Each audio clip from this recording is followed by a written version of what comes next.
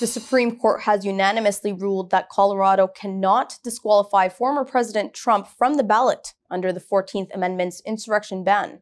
The historic decision, which was delivered today, permits Trump to seek a second presidential term in the upcoming November election.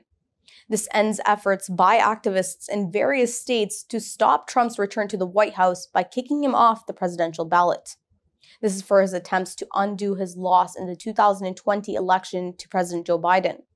Analysts say the decision by the highest court gives the former Trump a significant legal victory on the eve of Super Tuesday. That is when he is expected to clinch the Republican nomination.